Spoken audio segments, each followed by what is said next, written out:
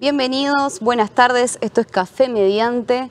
En esta edición especial tenemos el cierre, cierre del ciclo. Se termina. ¿Qué tal, Celi? ¿Cómo andas? Todo bien.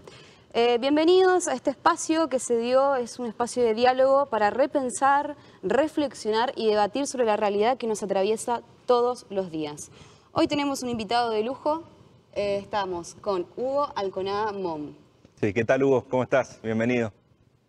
Buenas noches, muchas gracias por recibirme. Bueno, te podemos presentar de múltiples maneras, abogado, periodista, eh, integrante del Consorcio Internacional de Periodismo de Investigación, eh, grandes libros, eh, todos bestsellers. más adelante vamos a estar hablando de tu último libro, de, Pausa. Me, iba a adelantar algunas preguntas, pero no, lo dejamos para, el final. Y hablar un poco también de, de una de tus profesiones, periodismo. Y Recién hablábamos con Celina, claro, el, tema del rol del periodismo en la, época actual. Supuestamente, digo supuestamente y te pregunto a vos si compartís, supuestamente somos esenciales. Estuvimos en esas 25 actividades eh, que, estuvieron exceptuadas en un primer momento. y en ocasiones uno analiza si realmente somos esenciales. ¿Por qué te pregunto esto? Porque cuando uno busca información en redes sociales, en los buscadores, rápidamente aparece una sugerencia de vaya fuentes oficiales como la Organización Mundial de la Salud, vaya fuentes como tal organismo, como que está un poco relegado en los hechos. El periodismo es una impresión que tengo y que te traslado a vos. Pues es un muy buen punto y ya arrancaste con sal y pimienta, ¿no? Como para que ya armar río. Eh, y la verdad que coincido, sí, Santiago. ¿Por qué? Porque a menudo nosotros los periodistas o somos irrelevantes o somos parte del problema. Entonces, en un momento en el cual tanto hablamos de la grieta, tenemos múltiples ocasiones en las cuales, en vez de nosotros informar, tender puentes, buscar los puntos en común en los distintos sectores de la sociedad, lo único que hacemos es la jugadita futbolera, tribunera, que sirve para un determinado sector, te da más rating, más índice de lectura, pero lo único que genera es más división, más pelea, más fricciones, más polarización. Con lo cual, o no somos esenciales porque no aportamos información, o no somos esenciales porque además fomentamos los problemas, no las soluciones.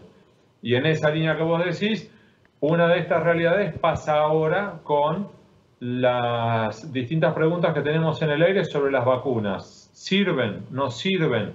¿Están siendo investigadas? ¿Están siendo evaluadas o no? Y lo que vamos observando, lamentablemente, es que hay algunos ejemplos superlativos de gran calidad periodística y después tenemos otros ejemplos que son o que repiten la información oficial sin tratar de contrastarla, o por el contrario, embarran por embarrar sin tampoco molestarse en buscar información. Entonces resulta notable porque sea o a favor o sea en contra, para muchos la verdad dejó de importar. Lo que importa acá es jugar el jueguito político a favor de una u otra tribuna. ¿Cuál es el punto de equilibrio que deberíamos buscar como periodistas, Hugo? Yo creo que en realidad a veces no se trata de una cuestión de equilibrio, sino de hacer nuestro trabajo, que es buscar la información y contrastarla, chequearla, buscar fuentes independientes entre sí. Entonces, si en determinadas ocasiones eh, vos tenés que la información te indica y verificado que la Tierra es redonda, me importa un pito si tenés un millón de personas que dicen que la Tierra es plana. La Tierra es redonda y nuestra obligación no es decir un sector dice plano, un sector dice que la Tierra es redonda y le da la misma equidistancia y peso. No. Ahora, para eso tenés que desarrollar un trabajo de investigación, depuración, tratar de quitarle lo que pueden llegar a ser fake news, versiones, contrastarlo, encontrar información consistente, sacarle una foto a la Luna desde alguno de los, eh, o a la Tierra desde alguno de los satélites, es decir, acá está la foto, la Tierra redonda, se terminó la discusión. Y, en medio de esto que hablábamos recién de, distintas visiones sobre un mismo tema, tema vacuna, por ejemplo, eh, habla el presidente ruso y hay diversas interpretaciones de lo que dice. Rápidamente algunos dijeron, no va a servir para mayores de 60 años la Sputnik 5, la Sputnik B, perdón. Eh, otros dijeron, no, faltan estudios. Eh, y quizás nosotros tenemos la suerte de ver eso, de ver esas diferencias, diferencias de interpretaciones sobre un mismo hecho. ¿Qué, hacemos con esa persona que ve un, un solo canal, por ejemplo? Y se quedó con la visión de que nunca se va a poder vacunar. Pues es un muy buen punto y un muy buen ejemplo, Santiago, me alegro que lo plantees. ¿Por qué? Porque este es un ejemplo claro. Eh, tenemos, por ejemplo, vacunas. Eh, ¿Qué pasó con la Pfizer? Eh, ¿Qué pasa con la AstraZeneca que todavía no llegó? ¿Qué pasa con la Sputnik? ¿Es, ¿Es consistente o no? Entonces, número uno, no hay que apresurarse. Número dos, busquemos distintas campanas. Entonces, ¿qué se informa hasta ahora en, como decías en la pregunta anterior, Santiago, qué dice la Organización Mundial de la Salud sobre las distintas vacunas? Eh, ¿Qué dicen los portales, por ejemplo, de noticias, serios, responsables? Y al mismo tiempo, hay que esperar, a su vez, a los informes que tienen que emitir sí o sí los distintos organismos en distintos países que controlarán la calidad de estas vacunas. Eh, o dicho de otro modo, señor, señora, ustedes que nos están viendo ahora, para que usted pueda tomar un medicamento, llevárselo a la boca, ese medicamento no solamente debieron hacerse distintos estudios de distintas fases, fase 1, fase 2, fase 3, sino que además de, luego tiene que ser analizada y autorizada, por ejemplo, en los Estados Unidos por un organismo que se llama FDA, y luego cuando viene a la Argentina también tiene que ser analizada por otro organismo que, que las siglas es ANMAT, que probablemente a usted, señor o señora, le sonará el nombre porque de manera recurrente, de hecho hasta todas las semanas, se emiten alertas desde el ANMAT diciendo, por ejemplo, se están vendiendo por ejemplo, eh, productos que en teoría son para celíacos que han sido analizados y contienen algunos ingredientes que los celíacos no deben consumir y se saca ese producto alimenticio del mercado. Con lo cual, toda vacuna que llegue en algún momento a la Argentina ya debería estar analizada no solamente por el país de origen donde se produjo esa vacuna, sea Rusia o Estados Unidos o cualquier otro lugar del planeta, además debería estar siendo analizada por organismos como la FDA en los Estados Unidos e incluso por la ANMAT. ¿Y por qué? Porque en la situación específica de la Argentina, si uno se inyectara una vacuna y luego hubiera algún contraindicación o contratiempo, uno podría demandar al Estado argentino por no hacer lo que se llama su rol de policía, no ejercer su poder de policía, no haber controlado lo que debería haber controlado. Con lo cual los funcionarios propios argentinos tienen un interés particular de no desfilar por tribunales por esto. Entonces, mi primera sugerencia con todo esto, hablando con los médicos que sí saben, con los infectólogos y los expertos en bioquímica, es no apresurarse, esperar y ver cómo evoluciona durante las próximas semanas esto. Y cierro con este comentario, Santiago. En línea con lo que vos decís, no le voy a pedir a los oyentes que hagan lo mismo, pero hoy estuve revisando 10 portales distintos de Rusia, portales independientes de noticias, a ver qué informaciones había sobre la vacuna Sputnik. Obviamente, Santiago, antes que preguntes, no sé ruso, pero el Google Translate permite traducir de manera aproximada y ahí empiezan los matices. Vos decías esto y ya con esto cierro. Por ejemplo, que no se puede ingerir alcohol si uno toma, si uno se inyecta esta vacuna, la Sputnik. Y ahí ya están los expertos rusos, no necesariamente que trabajan para el gobierno, dicen no es tan así porque en realidad lo que hay que hacer es tomar, pero se puede tomar poco, como cualquier otro remedio, que cuanto más alcohol tomas, este, menos impacto tiene el remedio en tu cuerpo. Y así como eso te puedo dar distintos ejemplos de esto. Entonces, no hay que apresurarse, hay que esperar. Bien. Eh, Hugo, te consulto, estábamos hablando del rol de periodismo hoy, vuelvo, a eso, eh, frente justamente a este ejemplo. Eh, en esta era, de social, en esta era de la social media, planteamos esto como periodista de investigación. ¿Cómo es el rol hoy? Ir al lugar del hecho, como decía, constatar, frente a la cantidad de información y bombardeo que hay en las redes. Eh, ¿Qué podrías, no te digo aconsejar, pero de alguna forma, eh, sí, eh, o, darnos un indicio en, qué plataformas hay más fake, news, más fake news, por ejemplo, o fuentes falsas? ¿Eso hay alguna que vas, mira, tal red social o Mira, te cuento, Celina, lo que ha pasado es que para las elecciones de 2019 uno de los ejes que estuve muy centrado era el de financiamiento electoral. Otro de los ejes era justamente este submundo, micromundo de las redes sociales e incluso de las fake news dando vueltas en campaña electoral. Y como vos decís, a ver, eh, consejos no soy quien para darlos. Sí lo que hay son algunas lecciones aprendidas de aquellos que son verdaderamente expertos en esto y que nos han aportado algunas ideas y algunas lecciones, ¿sí? Entonces, número uno, cuando vemos que circula material que nos llega, por ejemplo, a nuestro teléfono, lo primero que tenemos que plantearnos, cuentan estos expertos, es ¿quién lo manda? Entonces, lo digo de este modo, eh, yo tengo algunos amigos míos que me suelen mandar en material que suele ser valioso. Tengo otros amigos que me mandan cualquier cosa que se les cruce. Y si esa es que Elvis Presley está vivo, me lo mandan igual. Y si es que Caroso se casó con Arizota, también me lo mandan.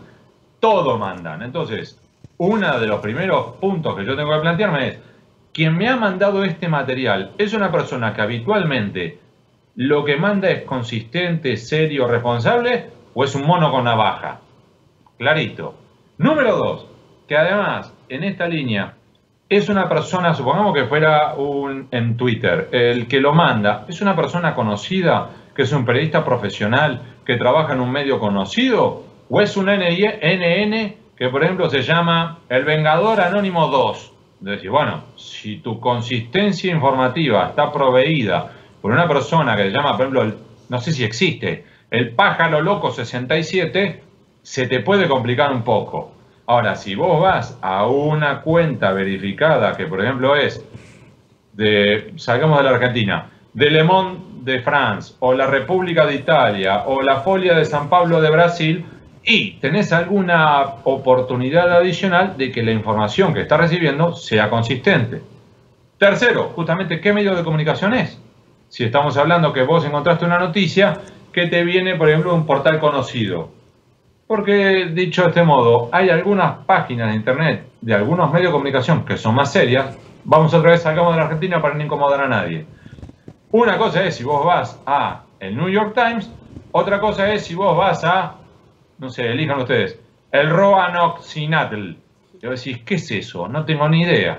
Entonces, es preferible apoyarse en el New York Times porque ya tiene décadas de trabajo periodístico, informativo y demás. Y a su vez, de ese material que estamos viendo, que nos llegó a nuestro teléfono, ¿está basado en algún informe? Entonces, cuando nosotros tenemos que, por ejemplo, eh, preocupación por la vacuna X, Y o Z, ¿la preocupación de dónde sale? ¿Están citando a algún médico o algún experto conocido? ¿O están diciendo que genera preocupación sin citar a nadie. Porque yo puedo decir ahora, por ejemplo, hay preocupación en Marte por la calidad de la vacuna. Ah, ok. ¿Y cómo sé yo que en Marte hay preocupación? Empecemos por lo básico. ¿Hay vida en Marte? Ahora, yo puedo escribir lo que quiera. El punto es si yo estoy citando a alguien, si estoy consultando a expertos científicos o a informes. Porque un aspecto es cuando uno dice, bueno, por ejemplo, el financiamiento electoral está en serios riesgos porque tal y tal cosa, según informó la Cámara Nacional Electoral. Ah, bueno, entonces los que expresan la preocupación son los responsables de la Cámara Nacional Electoral, ya tiene otra consistencia. Y lo último sobre esto, y yendo a tu último punto, Celina, que es también en ocasiones el canal por el cual nos llega la información es indiciario. ¿Y por qué? Para lo que nos están viendo ahora. No es lo mismo si nosotros estamos en nuestra computadora o en nuestro teléfono, pero entramos nosotros, o supongamos, a la página de internet del diario de la Nación, o del diario Clarín, o del diario Página 12, elijan ustedes, o del New York Times, o de cualquier diario del planeta. Eso es un punto, porque estamos entrando a un lugar que a nosotros ya nos da una cierta consistencia informativa. Otra muy distinta es si nos llega, por ejemplo, por Facebook o por Instagram o por Twitter o incluso en plataformas digitales como son WhatsApp y Telegram. Y ya cierro con esto. Esas dos últimas plataformas son las dos plataformas predilectas para difundir cualquier tipo de porquería. Y lo voy a dar con un ejemplo final. De hecho, lo que hemos detectado aquí y otros colegas alrededor del mundo es que, por ejemplo, en Brasil y en Alemania prefieren utilizar para la desinformación, se utiliza Telegram. Mientras que, por ejemplo, en países como España o Argentina se prefiere WhatsApp por distintas características, porque en Brasil está más difundido Telegram, al igual que en Alemania, mientras que en Argentina y en España han detectado unas formas de poder transmitir información a través de Telegram por debajo de los radares de los medios de comunicación, pero que en definitiva, si nos llega un material, y con esto cierro, un material que nos llega, supongamos, a través de WhatsApp, por una persona que habitualmente nos manda información, por ejemplo, sobre el desembarco de los enanitos verdes en el Cerro Uritorco, y que además no se apoya en información consistente, no cita ningún experto de la NASA, y además no sabemos de dónde salió ese material y viene con dibujitos de un marciano verde, nuestra primera responsabilidad sería no retuitear, no reenviar ese material. Bien, ahora hablamos de las plataformas, hablamos también del consumo, pero también, no sé qué pensás por en la, en la era de la posverdad o de la mentira emotiva o del amarillismo, ¿no crees que hay una nueva narrativa también del lado de los medios? Sí, sí, y lo vemos incluso en la forma de, titular, Celina. ¿Por qué? Porque ahora, en vez de, por ejemplo, decirte, vamos a un ejemplo futbolístico, Cristiano Ronaldo dijo que el técnico, este, ¿dónde juega ahora? En Juventus. El técnico del Juventus es un imbécil, y vos ya en el mismo título informativo tenés la información. Ahora dicen, las picantes declaraciones de Cristiano Ronaldo. ¿Qué dijo el astro de la Juventus sobre el técnico? Y te obligan a cliquear. Esto es un, un truco muy sencillo de interacción que te obligan a cliquear, meterte, expandir tu tiempo de consumo dentro de ese portal que le suma métricas a cada uno de los medios de comunicación. Eso pasa en los medios de comunicación, eso también pasa en Facebook, en Twitter, en Instagram, en todos lados. Y es una dificultad con la cual nosotros también como periodistas tenemos que lidiar. Y yo también lo hago a menudo, que es tuitear de un modo que aliente al cliqueo y a la lectura de los materiales informativos que trato de difundir. Pero esto que vos decís, sí, pasa. Y tenemos que comprender que hay múltiples agendas dando vuelta en esto. Porque tenemos periodistas que difunden información a través de las distintas redes sociales o plataformas digitales, yo lo hago, lo hacemos todos, pero a su vez nosotros también interactuamos con, por ejemplo, canales oficiales que difunden propaganda, la propaganda del intendente o del gobernador o del, o del presidente o del gobernador o del empresario o el sindicalista o el futbolista. Y además tenemos gente que difunde información, ni siquiera información, déjenme corregir, material falso a sabiendas de que es falso, pero porque le sirve. Y voy a dar un ejemplo increíble. Estaba hablando hace poco con una colega alemana, Julia Klaus, que ella se encarga justamente de investigar las fake news en Alemania. ¿Saben lo que encontró Celina Santiago? Que el principal difusor de información falsa en Alemania es un pequeño comerciante que vive en Berlín, que además eh, tiene un local de ventas de productos eh, para té y café, para infusiones, y que se dedica de manera sistemática a difundir basura a través de su cuenta de Telegram. Y ustedes me dirán, ¿pero para qué? Porque encontró que con eso genera muchos más seguidores que de otro modo nunca lo estarían siguiendo y lo que hace es utilizar esa información basura, que además así como la llega, la reenvía, llega a mandar 800 mensajes por día. ¿Qué tipo de análisis puede hacer de eso que recibe? Ninguno. Así como recibe la basura, la difunde. ¿Y por qué? porque lo que ha hecho es encontrar un canal por el cual, por un lado, de información basura, pero que gente consume, y cada determinada cantidad de posteos falsos manda una publicidad de su propio local de venta de infusiones para té y café. Con lo cual, lo que ha hecho es generar su propio canal de propaganda comercial y ha logrado mayores ventas comerciales de y café. Entonces, a ese hombre le importa nada lo que está difundiendo, lo que le importa es la publicidad que él coloca de su propio comercio. Hugo, ¿y cómo es esto que se está dando, sobre todo en Estados Unidos, con demandas contra Google, Facebook, por este rol acaparador que han tenido de las noticias? De hecho, bueno, vos comentabas de la, eventual nota de Cristiano Ronaldo.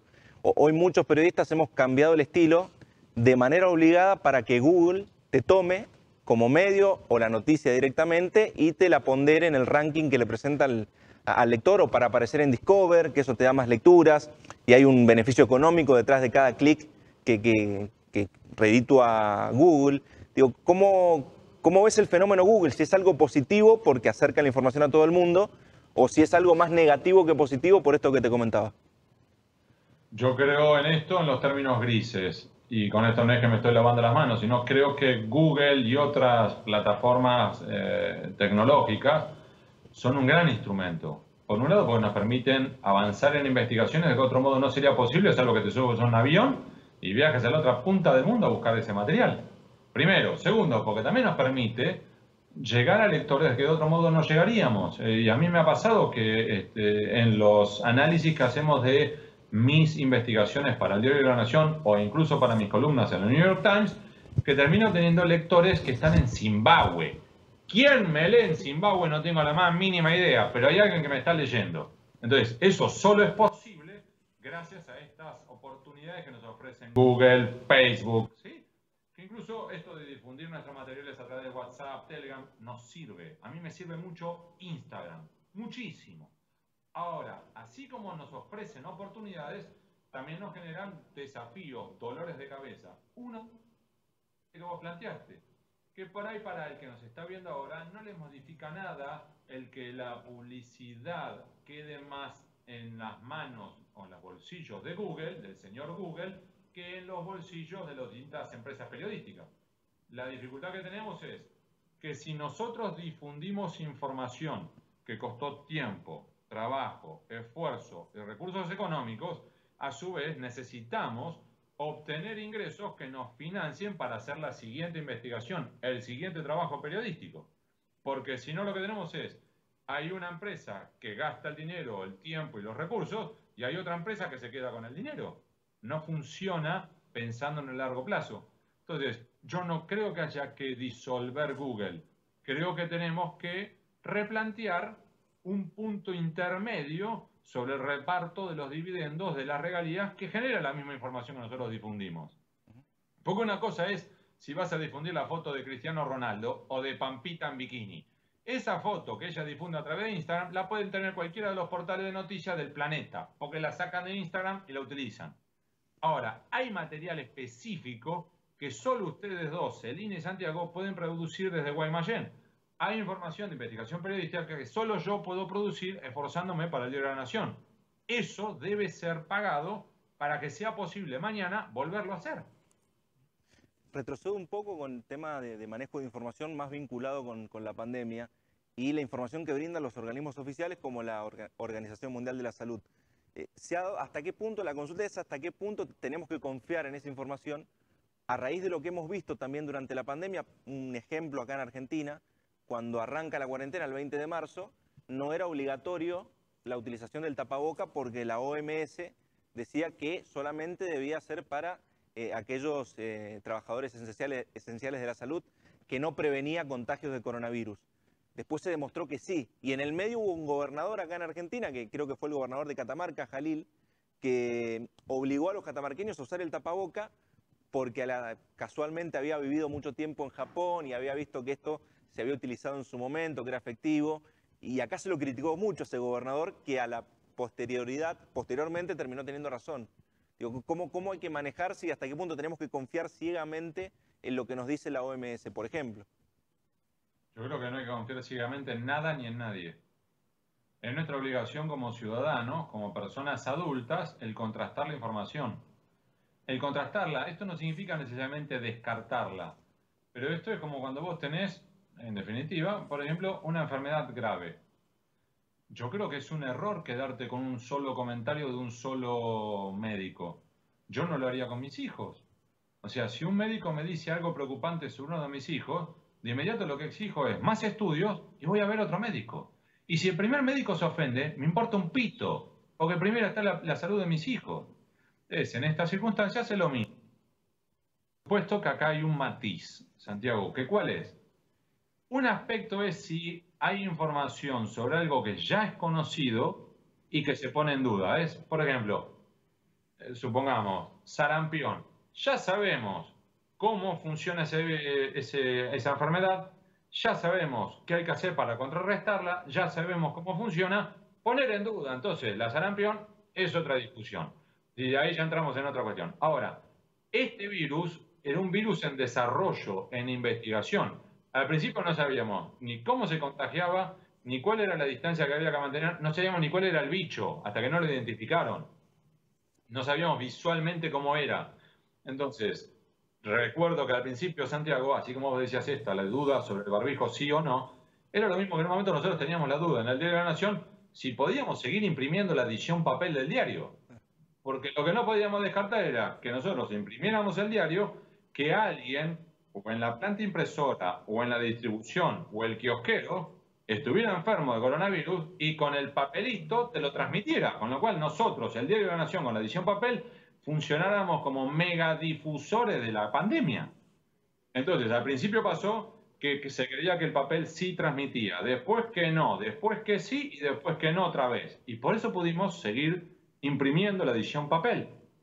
Ahora entonces, para ir cerrando, como principio general, así como está para los señores y señoras que nos están viendo ahora, un principio elemental del periodismo es verificar toda información que no llega con una segunda fuente independiente de la primera.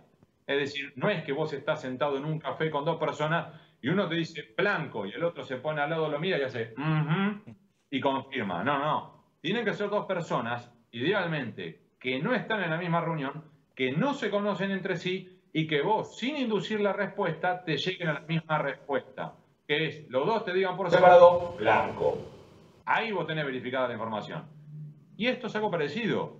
Tenemos que ir aprendiendo, pero al mismo tiempo, si vos tenés que, en el caso puntual de los barbijos, pongamos, tenés que la Organización Mundial de la Salud ahora te dice que los barbijos sí funcionan. Tenés las autoridades norteamericanas que te dicen que también que sí funciona. Y llamaste a tu médico de cabecera y te dice, nene, ponete el barbijo, se terminó la discusión. Ponete el barbijo. Bien, tengo algunas preguntas del público yendo en esta línea. Eh, preguntan, ¿crees que estamos en una, sociedad más informada o cada vez más desinformada? Depende. Yo creo que hay algunas personas que están muy bien informadas y terminan con la cabeza quemada, en lo que se llama en términos psicológicos burnout, es decir, eso, quemados, y que terminan tan quemados que al final lo que hacen es la desconexión absoluta, diciendo, estoy harto de TN y de C5N y de cualquier otro, yo no quiero escuchar a ninguno de ustedes y se pone a escuchar a los chalchaleros directamente. Entonces, ocurre eso. Y también hay otras personas que, insisto con este punto, que todavía no han logrado manejar los músculos para poder determinar qué es información y qué es una nueva versión falsa.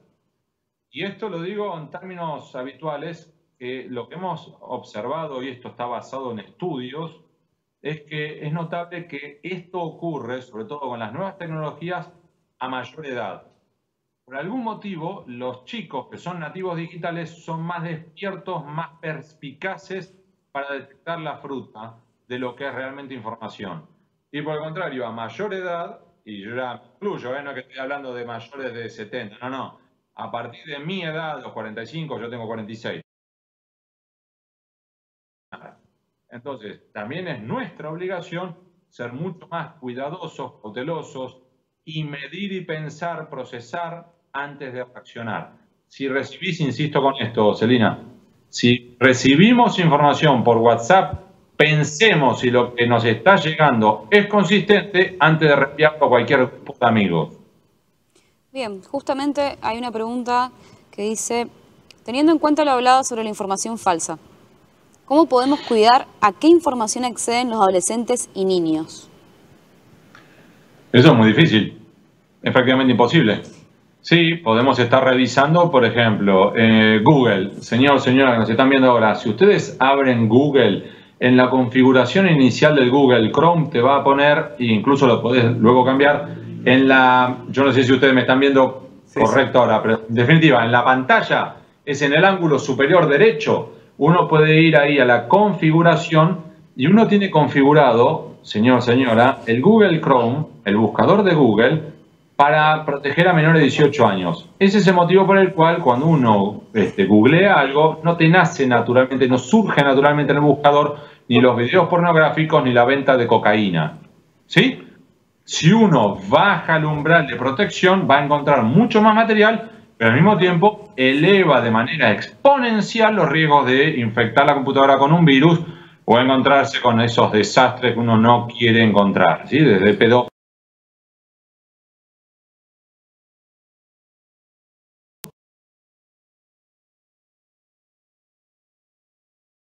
chicos adentro de nuestras casas. Número uno. Número dos, también podemos estar viendo el historial de búsqueda para ver si eh, nuestros chicos han entrado en algunos portales, no necesariamente para levantarlos en peso, pero sí para después decirle, mira, estuviste entrando en un portal que te sugiero que conversemos sobre esto, porque si has visto pornografía, creo que es bueno que empecemos a hablar.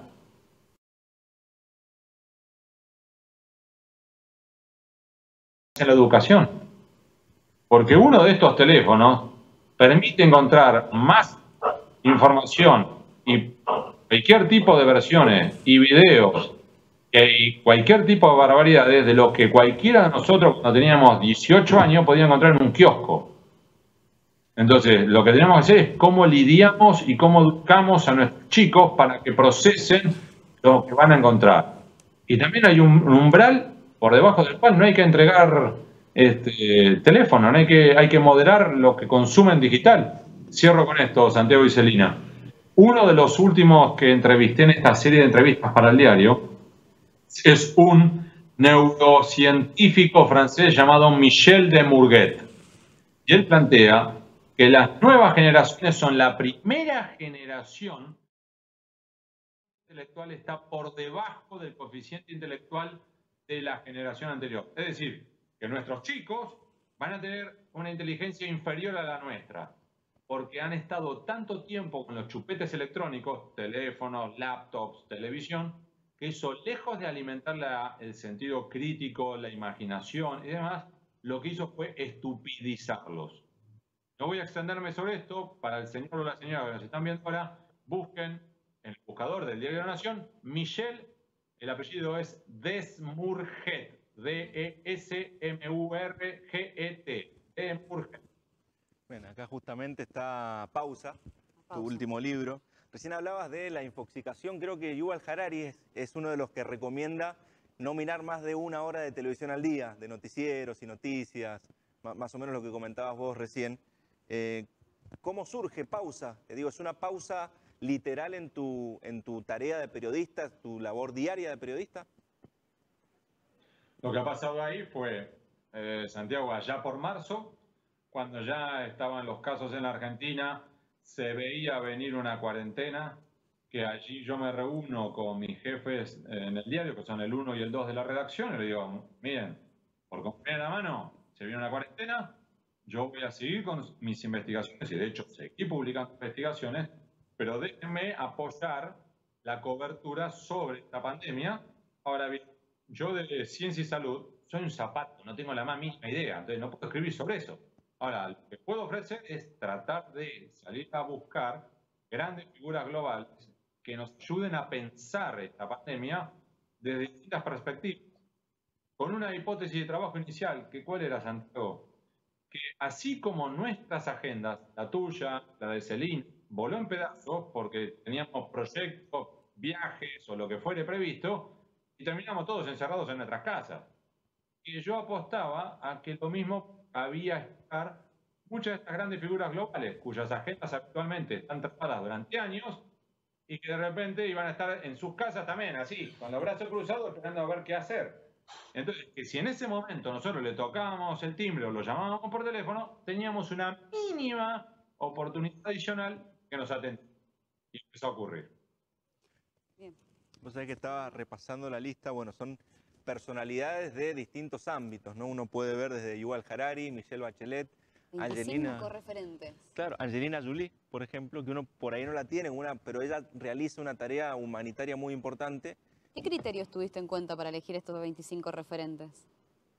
La primera premisa, Celina, fue no entrevistar a argentinos. Eh, el motivo por el cual era porque estamos acostumbrados a entrevistar a argentinos. Entonces el desafío aquí era buscar otras miradas, otras figuras, otras visiones de otros expertos de otros puntos del planeta. De hecho, hubo una sola argentina que entrevisté en todo este ciclo, que es una argentina, pero que está basada en, en Berlín, Alemania, y que además preside Transparencia Internacional, con lo cual su punto de vista está apoyado en Alemania con una visión global. Y entonces la idea era decir, busquemos hombres y mujeres que de distintas experticias, historia, economía, ciencias políticas, lucha contra la corrupción, eh, educación, nos aportaran visiones que hasta necesariamente son distintas si vos abordás el mismo problema, por ejemplo, desde África, que desde Oceanía, o América del Norte, y en algunas ocasiones esas miradas distintas nos pueden enriquecer. Esa es la premisa inicial. Y mm, miradas distintas y qué alguna respuesta en común entre todos o algún mensaje que coincida. Sí, te diría, la primera, Celina, es la, la como si, ahora cuando estábamos en el colegio hablábamos de los mínimos comunes denominadores, ¿te acordás? Sí. Bueno, por tu tono era como que lidiaste con la matemática que te costó. Claramente. Eh, bueno, el primer mínimo común denominador entre estas grandes figuras, te diría que es la, idea de la pandemia como una lupa que agiganta aquello que ya estaba allí, lo bueno y lo malo. Entonces era, aquellos países que ya tenían problemas de desempleo, desigualdad o brecha educativa, la pandemia lo exacerbó. Por el contrario, aquellos países que ya eh, apostaban por la innovación, por las nuevas tecnologías, que apostaban por las investigaciones científicas y el desarrollo, esto lo potenció, los aceleró. Y lo mismo con las personas. Aquellas personas que ya tenían problemas previos de angustia, estrés, depresión, ansiedad, esto lo potenció. Y por el contrario, aquellas personas que ya eran flexibles, optimistas, resistentes, resilientes, esto nosotros lo hemos visto. Santiago, Celina, nosotros tenemos amigos o amigas, familiares, que nosotros los hemos visto florecer en tiempos de pandemia como que sacaron de por sí lo mejor que tenían, ¿o no? Que uno dice, la verdad son un ejemplo. Este es el primer mínimo común denominador. Y el segundo, que aunque suene como un cliché, dos ejes. El primero, lo que viene es horrible. Horrible. Porque aunque mañana tengamos la vacuna, los efectos de esta pandemia pueden tomar años o décadas. ¿Por ¿Qué? Porque pues, mañana todos nos podemos vacunar, porque la mejor de las vacunas posibles apareció. Ahora, el desempleo, tenemos un millón de desempleados más en la Argentina.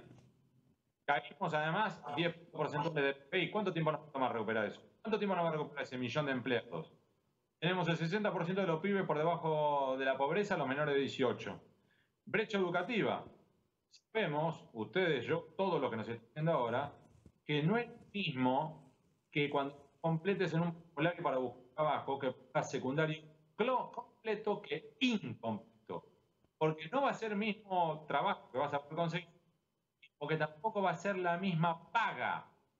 Y esto, salvo que algún día vos termines el colegio secundario, esta diferencia vas a arrastrarla el resto de tu vida. Por lo cual, aunque la pandemia la terminamos mañana, los impactos y consecuencias te pueden durar toda una vida. Ahora, el último eje, el último, Celina, sería, así como dicen, una lupa giganta, un impacto que puede llegar a ser duradero y horrible, el tercero es y esperanza. Y aunque suene como un cliché, hay oportunidades. Y algunos ejemplos de estos son notables, ahí Santiago tiene el libro en la mano, por ejemplo, uno que menciona a Chan, que si tiene tiempo se menciona y si no lo dejamos para él. No, mencionalo, dale. En un momento, señor, señora, me están viendo, hablo con Hashun Chan, economista surcoreano, profesor en Cambridge, mente brillante, en los 40, firme candidato a ganar el premio Nobel, y si está en los 40 le quedan como 30 años para poder ganarlo, así que es un firme candidato. Firme candidato. Ahora, en un momento, Hashun Chan venía hablando justamente de esto, crisis, oportunidad, y sonaba cliché. Y me dice, bueno, te voy a dar un ejemplo. Le digo, por favor, doctor, le pido por favor, no me dé un ejemplo de Alemania o de Suecia o de Noruega, porque son universos paralelos a la Argentina que no podemos compararlos jamás. Porque, por ejemplo, Alemania es la tercera potencia del planeta. Olvídese. Hashun Chang, en vez de ofenderse, se empezó a reír a carcajadas. Hashun Chang es simpaticísimo. Me dice, me parece bien. ¿Sabe qué? Etiopía.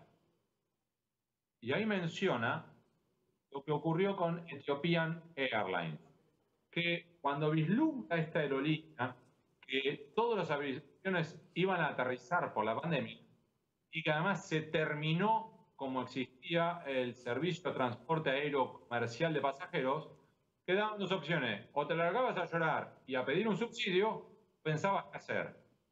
Y en Etiopía, en el corazón de África, de la noche a la mañana, le sacaron todos los asientos a todos sus aviones y reconvirtieron sus aviones en una aerolínea. Pasó de ser de transporte de pasajeros a transporte de carga. Y escuchen esto, Celina y Santiago. Esa aerolínea se convirtió en la aerolínea de carga de África y da ganancias. En África, Etiopía Airlines es la única aerolínea del planeta que da ganancias.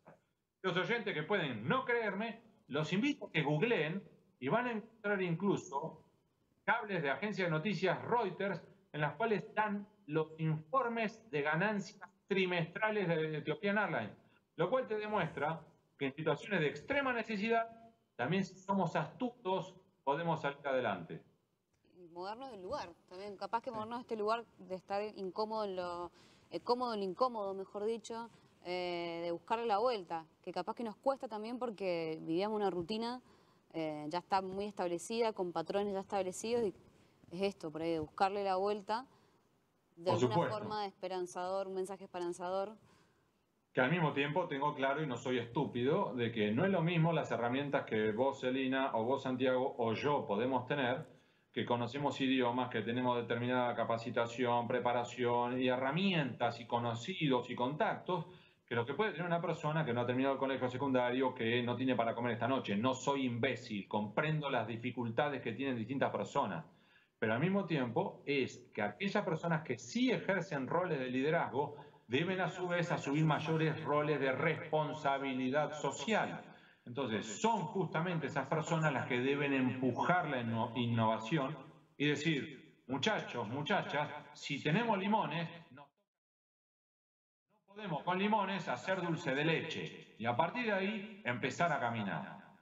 Mencionaste Etiopía y el director de la OMS es de Etiopía, fue ministro de Salud, creo, de Etiopía. ¿Tiene algo de especial Etiopía que no conozcamos? No, lo que tienen es una enorme necesidad. Y entonces, porque no tienen otros recursos, tienen que salir adelante. De hecho, ¿sabes qué pasa, Santiago? Para mí, una de las entrevistas que más me conmovieron, de hecho, yo me terminé emocionando, me largué a llorar, fue cuando se la hice a Ellen Johnson Sirleaf. Breve, en 30 segundos se los presento que para, los para los que nos están viendo. Ellen Johnson Sirleaf es una mujer que era ministra de un gobierno, golpe de Estado, y ella logra escapar de su país, en Liberia, uno de los países más pobres del mundo, en el corazón de África, y que al mismo tiempo todo el resto del gabinete, incluido el presidente, los ejecutan. Se tiene que ir al exilio y en algún momento, años después, hay una ventana de oportunidad, asume el riesgo de la que podían matar, pero vuelve a su país, asume el riesgo, compite en unas elecciones y se convierte en la primera mujer presidenta en la historia de África. A partir de ahí, a su vez, pacifica su país, gana el Nobel de la Paz, pero en vez de poder festejar, tiene que lidiar con una nueva epidemia, que en ese momento era la del ébola. Imaginen, ébola en Liberia, que además de Haití y un par de países más son los más pobres del planeta. Ahora, otra vez, si tenés limones, haces limonada. Y ella cuenta de cómo, sin recursos, apostó por la educación ciudadana y apuesta por los líderes comunitarios. Y esto que suena otra vez como a ukelele y biribiri, ella cuando te lo cuenta te quebrás, porque cuenta de cómo en un momento, por ejemplo, estaban llamando a un hospital de, campaña en el medio de Liberia y no eh, atendían el radio llamado. Se suben a un helicóptero, van hacia allá y a medida que se van acercando con el helicóptero, van viendo cadáveres en los caminos que conducían hacia ese hospital de campaña, todos muertos. Cuando aterrizan y entran al hospital de campaña, los médicos, enfermeros y pacientes, todos muertos. En ese contexto, Ellen Johnson Sirleaf y los liberianos lograron controlar la epidemia del ébola y salir adelante. Es otro ejemplo de que es posible. si es que hacemos lo que tenemos que hacer. Bien, en esa línea, no sé si quieres contar. No, un dato cortito que me sorprendió, recién hablábamos de Angelina Jolie. Yo te quería preguntar, Hugo, ¿qué, qué efecto, si lo, si lo más preocupante, si el punto al cual debemos prestarle más atención es la falta de los chicos en las escuelas? Angelina Jolie lo marca en la entrevista que le haces de la gran cantidad de, chicos en el mundo. Yo lo eh, haría hincapié en Argentina, que, que no tienen acceso, que no han ido a la escuela, que muchos de ellos ni siquiera se han conectado por internet. Eh, ¿Qué tanto perdemos con eso y qué tanto podemos perder? Porque no sabemos si, si efectivamente en febrero se van a abrir las escuelas con esto de la posibilidad de un rebrote. Es que ese es uno de los grandes desafíos que vamos a tener durante los próximos años. Primero porque...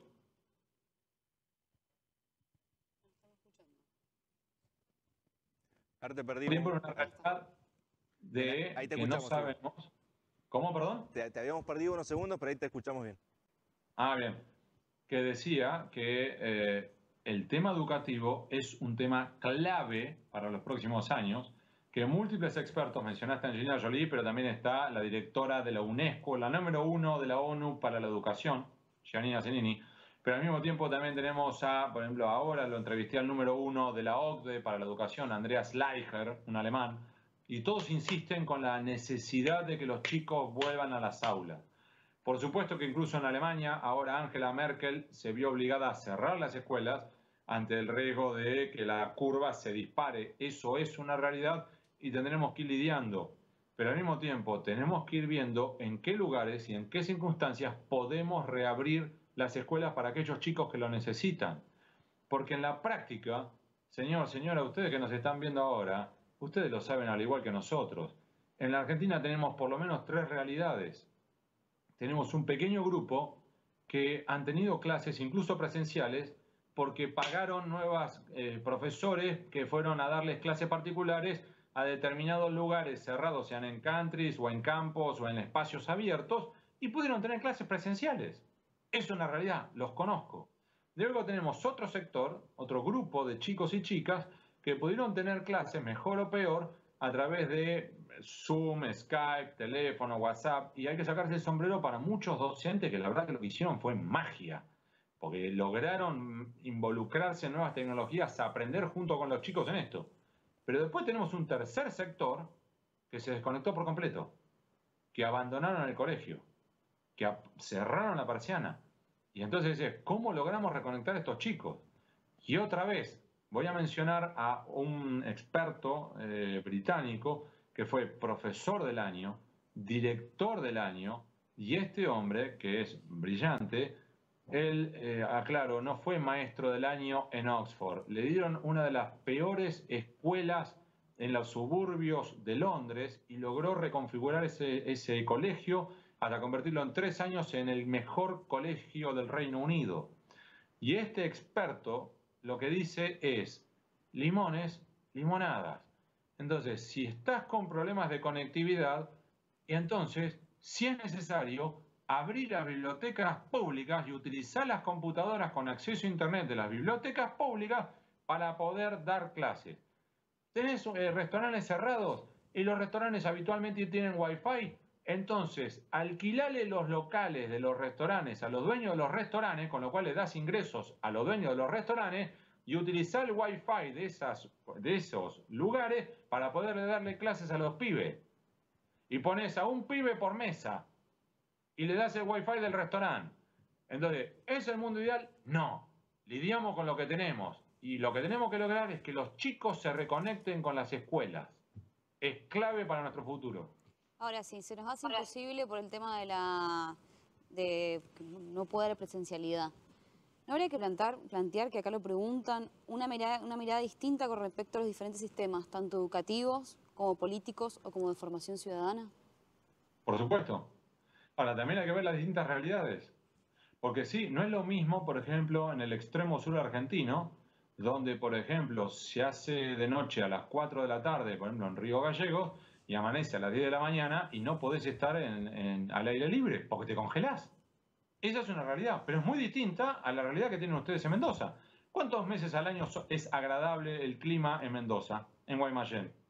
¿Cuántas semanas al año podés estar, por ejemplo, dando clases en una plaza?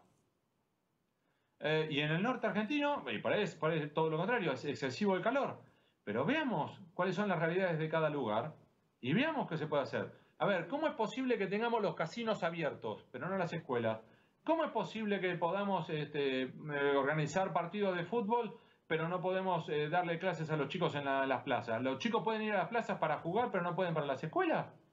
¿Cómo es posible que podamos ir a la salada, como fueron hoy, y no podamos llevarlos a los chicos a los establecimientos educativos? Y tampoco te digo los cinco días a la semana, pero esto es como si fuera un conflicto bélico. Entonces, tenés que utilizar los siete días de la semana. Entonces, a siete días de la semana, turno mañana y turno tarde, tenés 14 oportunidades. Y tendrás que ver si es un día a la semana, los pibes a la mañana, los, los otros a la tarde. Lo irás viendo. Pero el punto es, ¿cuál es nuestra prioridad? ¿Casino o escuelas? ¿Y cuál es tu respuesta, Hugo, a eso, a todos los interrogantes que enumeraste?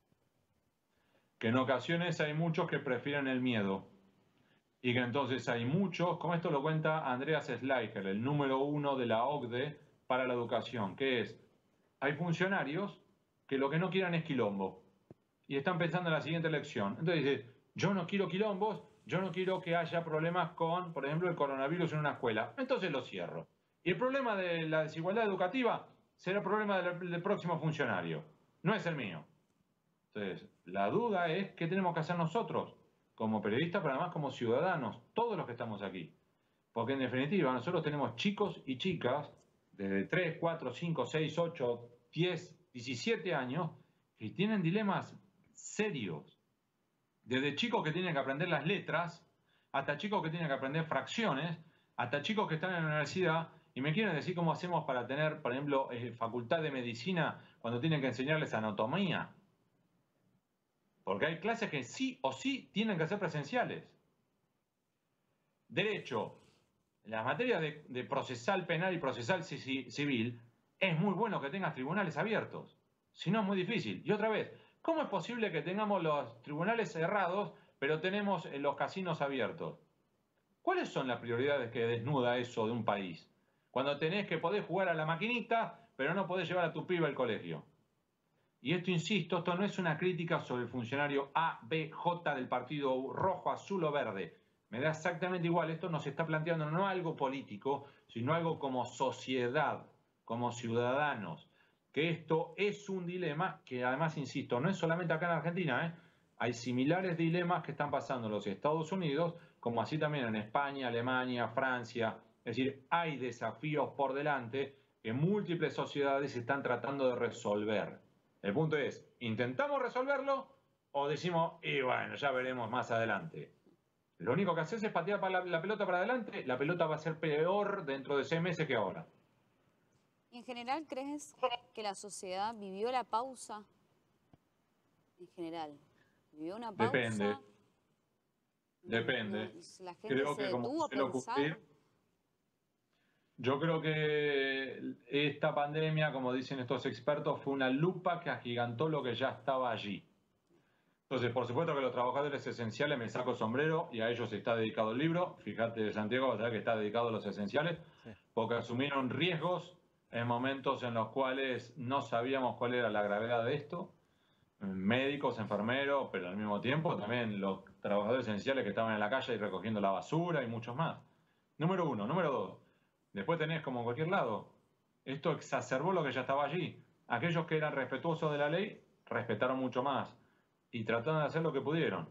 Y hubo otros que en la primera oportunidad trataron de vulnerar las leyes, de vulnerar la, la, cuarentena. Y no estoy hablando del que salió por necesidad porque necesitaba comer. ¿Qué le vas a decir a ese? Esa persona necesitaba ganarse el pan de cada día. Yo estoy hablando de los imbéciles que, por ejemplo, como los surfistas que se iban, trataban de escapar a Mar del Plata para ir a surfear, que es otra historia. Y esto, el, el, control excesivo quizás en un momento de, del Estado, digo, es una, una, ponderación que estoy haciendo, pero lo dice Harari también con el tema del cómo obligar a la gente a que se lave las manos.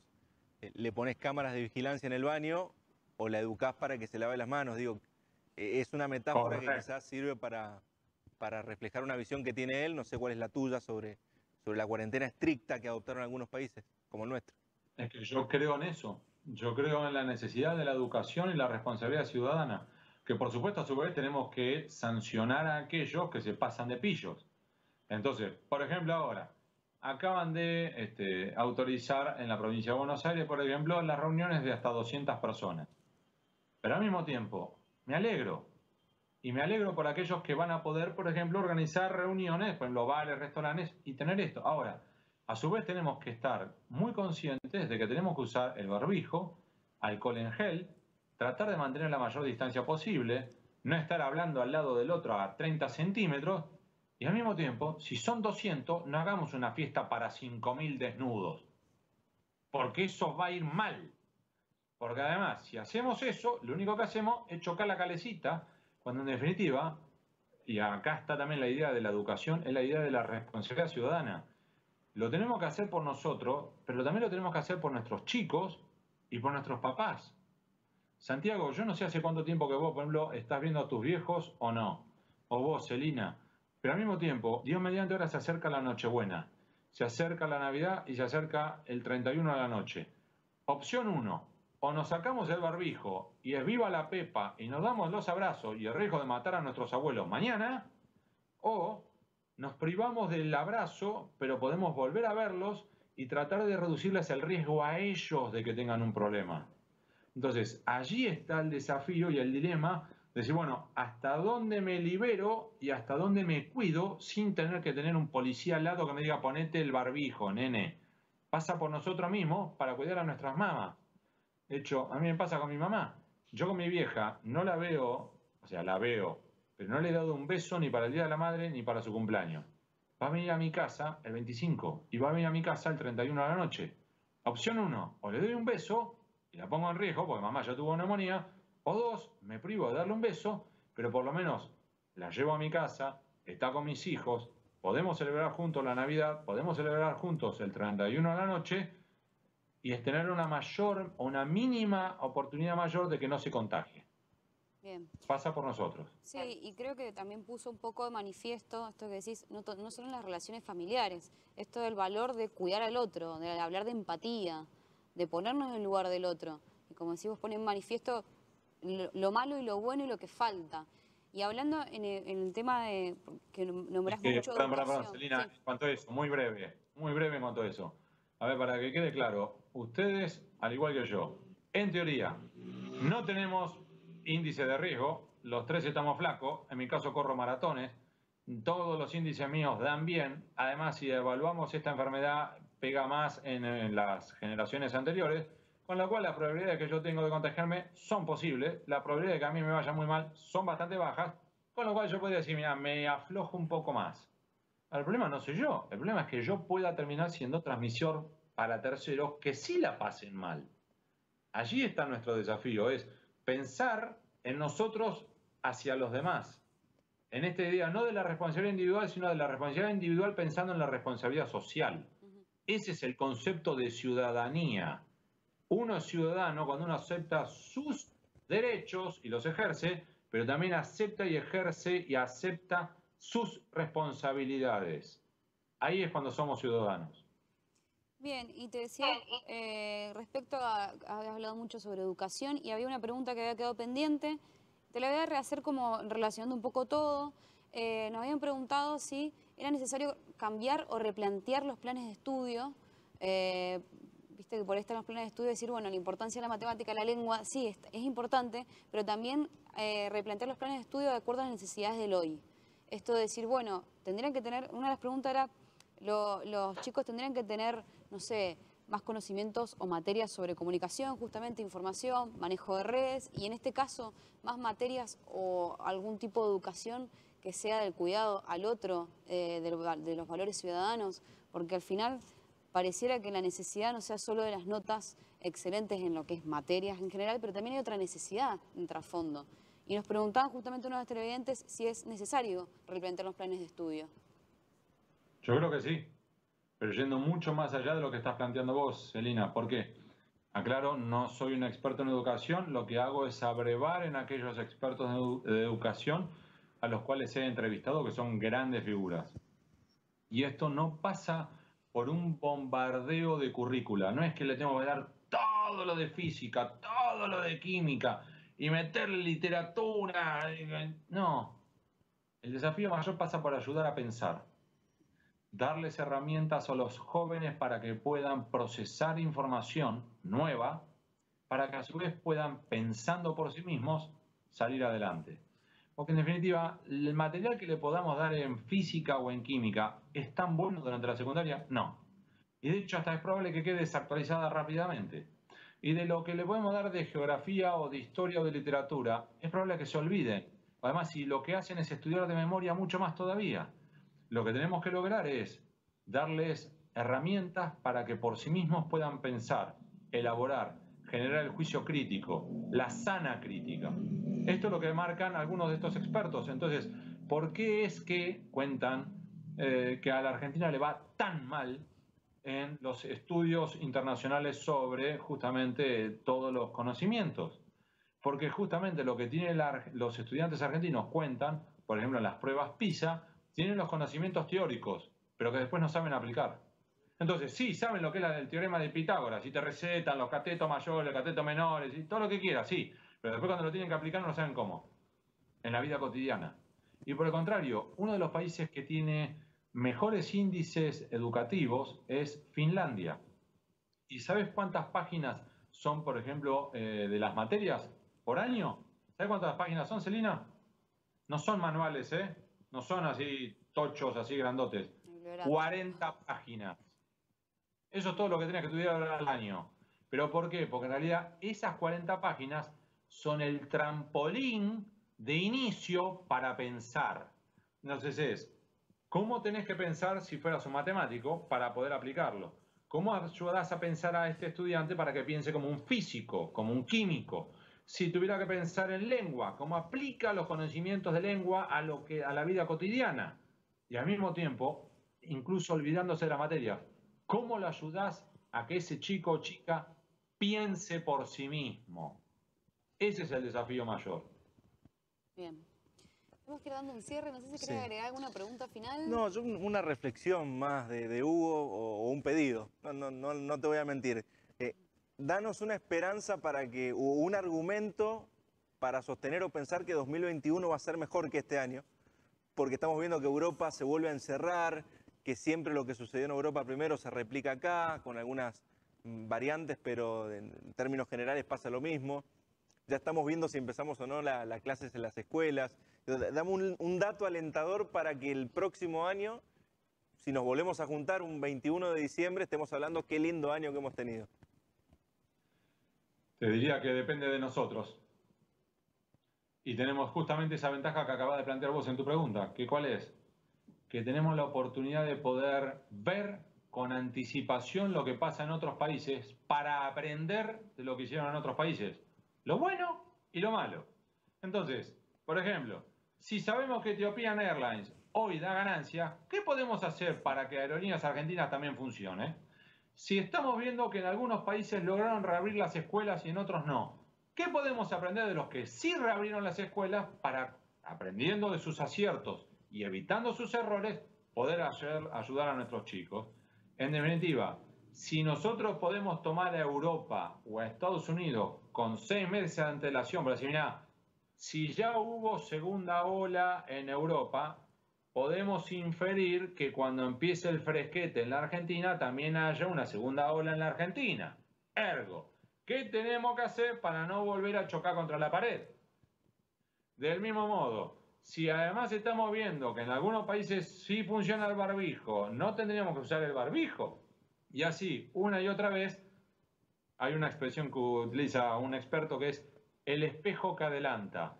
Podemos tomar al resto del mundo como un espejo que adelanta para la Argentina y pasa por nosotros si somos lo suficientemente astutos, si aprovechamos esos conocimientos para con seis meses de anticipación nos están dando 180 días de anticipación, aprovechar la oportunidad. Bien, excelente cierre. Un excelente cierre para eso, sacar de, la crisis la oportunidad, ¿no? Eh, y que depende de nosotros. Eh, Así es. ¿Algo más?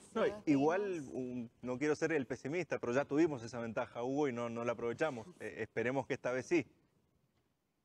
es que quizás entonces ahora, si ya nos comimos un sopapo, Claro. no pongamos la otra mejilla y nos comamos otro sopapo.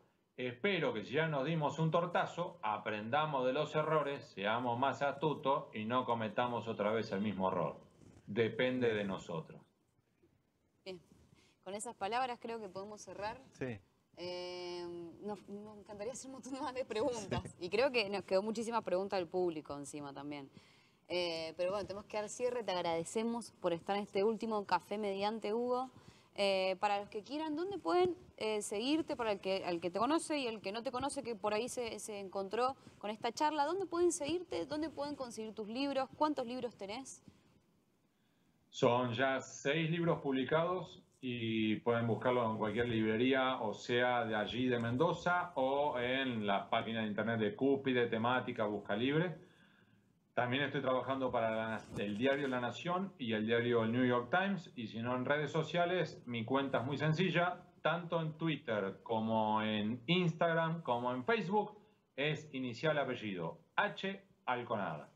Bien, buenísimo. Muchísimas gracias, Hugo. Gracias, Hugo. Y gracias a ustedes dos, Santiago, Celina, que tengan una feliz Nochebuena, una santa Navidad, que terminemos un poco mejor este tortuoso 2020 y lo mejor para ustedes y para los que nos están viendo ahora el año que viene. Que Dios así lo quiera. Muchísimas gracias. Eh, bueno, vamos a dar cierre a este café mediante. Gracias por la invitación. se nos Celina, fue. ¿eh? Gracias a Muy- Santiago lindo. la primera vez, porque siempre hemos estado por Zoom, eh, hemos estado por Google Meet. Les agradecemos a todos los que nos acompañaron, a todo el equipo de Café Mediante, que es un equipo hermoso. Esta idea se inició en septiembre eh, de este año. En realidad fue una idea que, que empezó como de decir, bueno, hablemos de lo que pocos hablan o, o- o no todos se atreven a hablar. De hacerlo eh, visible lo, lo- lo invisible, lo que está inherente en todos. Esto es decir, la realidad que nos atraviesa todos los días y de ahí nació el lema. Fue decir, bueno, trabajemos cada una de, la- de las aristas que nos pasan bien de cerca y por qué no, eh, justamente hablamos esto de la pausa, en esta pausa, repensarnos, eh, reflexionar, debatir sobre diferentes temáticas. Claro, y aparte en, un año, en unos meses donde seguramente la gente, nosotros todos estamos más atentos o más relajados, más en pausa para poder hablar de temas en, justamente en café mediante, temas que por ahí no le dedicamos mucho tiempo. Incluso más sensible, hemos pasado por diferentes cafés donde han sido emotivos, otros nos hemos reído, eh, todo en el momento, la gente, eh, nunca pensamos que iba a tener esa repercusión, la gente participando, contando sus historias.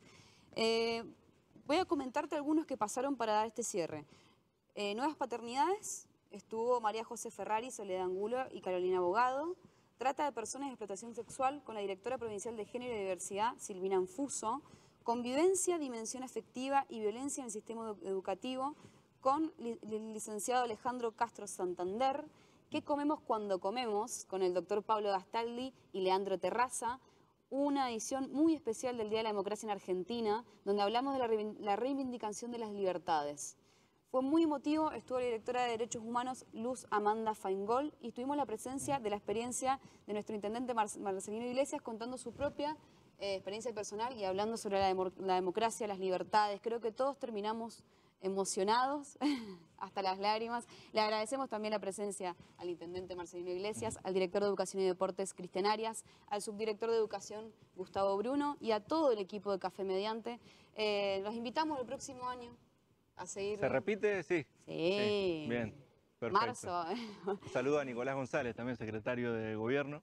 Del Nicolás. González Perejamo, que nos está viendo seguro, secretario del secretario de Gobierno. Eh, y también tenemos un montón de saludos. Se acabó el año, no, ya está. tiempo, tenemos que cerrar. El año que viene, marzo, volvemos, marzo. Sí. Marzo, por ahí volvemos. Hay que ver cómo está la segunda ola. Bueno, igual vamos a estar virtual. ¿sí? Sí, sí, sí. Esa es la- una gran ventaja. Muchísimas gracias a todos los que están del otro lado. Muchísimas gracias, Santiago, por acompañarnos. Un placer, Celina. Gracias a vos. Hasta luego.